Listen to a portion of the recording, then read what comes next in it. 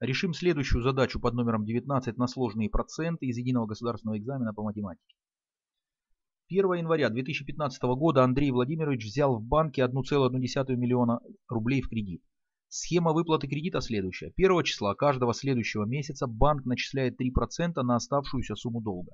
То есть увеличивает долг на 3%. Затем Андрей Владимирович переводит в банк платеж. На какое минимальное количество месяцев Андрей Владимирович может взять кредит, чтобы ежемесячные выплаты были не более 220 тысяч рублей. Если Андрей Владимирович взял в кредит S рублей, тогда через месяц к этой сумме банк добавит 3%. Как найти 3% от числа S? Нужно найти сначала 1%, S разделить на 100 это 1%, потому что 1% это 1 сотая. А 3% это в 3 раза больше, чем 1%. То есть надо 1% умножить на 3. То есть получается, в итоге, если S вынести за скобку, у нас получается сумма, которая будет равна 1 плюс 0,3. 0,3. Почему? Потому что если s сейчас вынести за скобку, тогда у нас получается 3 сотых. И к единице мы прибавим 3 сотых, у нас получается 1,3. 1,3 s. Таким образом, если кредит был равен s, то через месяц кредит станет равным 1,3 0,03s. Это значит, постольку поскольку Андрей Владимирович взял в банке сумму в 1 миллион 100 тысяч рублей, то первое действие сразу посчитаем, сколько будет, э, каков, э, какова сумма будет через месяц.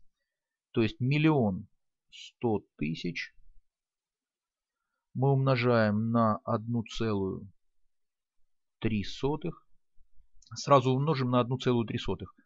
А, как можно умножить? Если мы умножим на единицу, у нас остается сумма 1,100 тысяч, 1 а, миллион 100 тысяч и умножить на 3 сотых. Что значит на 3 сотых? Это значит разделить на 100 и умножить на 3. Делим на 100, запятую переносим на два знака влево и умножаем на 3. То есть получается 33 тысячи. Это значит, что к сумме 1 миллион 100 тысяч нужно прибавить 33 тысячи. 33 тысячи прибавляем это как раз получается э, все равно, что мы умножили 1 миллион 100 тысяч на 1,3. То есть вот в итоге у нас получается 1 миллион 133 тысячи рублей. Такова сумма э, через месяц. Далее, в конце каждого месяца Андрей Владимирович погашает кредит, но на сумму не более чем 220 тысяч рублей. Постольку, поскольку нам нужно найти минимальное количество месяцев а, для э, взятого кредита, нам необходимо, чтобы Андрей Владимирович отдавал максимальную сумму. То есть чем больше он отдает, тем на меньшее количество месяцев он возьмет кредит. Это значит, надо от данной суммы, которая получилась через месяц, вычесть 220 тысяч рублей. То есть вычитаем миллион сто тридцать три тысячи рублей мы вычитаем э, сумму в 220 тысяч рублей. 220 тысяч рублей. И получаем, можно в столбик это сделать, и получаем 913 тысяч рублей. Такова сумма долга через один месяц. То есть это и есть сумма долга через один месяц. Далее.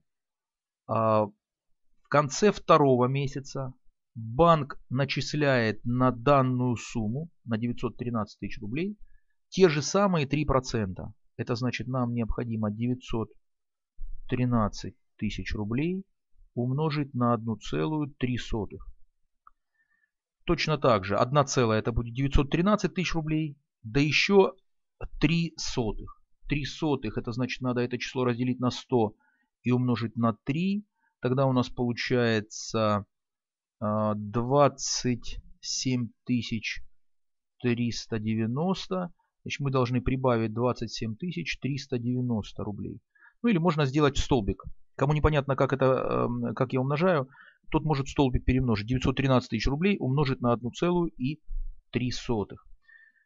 Итак, тогда у нас получается складываем И в итоге получается у нас, так, э, получается 940 тысяч 390 рублей. То есть получается после начисления процентов в конце второго месяца сумма составит, сумма долга составит 940 тысяч 390 рублей. Далее, в конце второго месяца Андрей Владимирович также внесет в банк 220 тысяч. Это значит надо от 940 тысяч 390 рублей вычесть 220 тысяч рублей. Вычитаем 220 тысяч рублей. Получаем 720 тысяч 390. То есть получаем 720 тысяч 390 рублей. Такова сумма в конце а, второго месяца. Далее делаем то же самое, находим сумму в конце третьего месяца. То есть через три месяца э, на сумму в 720 тысяч 390 рублей будут начислены очередные 3%. Это значит надо умножить опять на 1,3. В итоге после умножения у нас получается 742 тысячи 1, 1 рубль 702 тысячи 1 и 7 десятых. Далее вычитаем 220 тысяч 742 тысячи 1 рубль и 7 десятых. Вычитаем те же самые 220 тысяч рублей.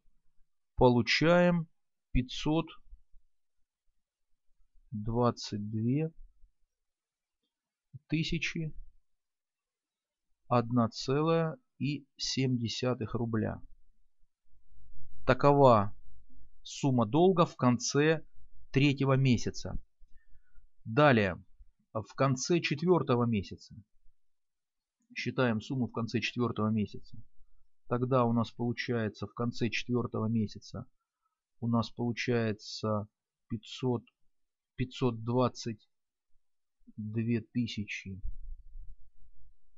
522 тысячи 1,7 мы умножаем на 1,3 сотых. Можно в столбик это сделать.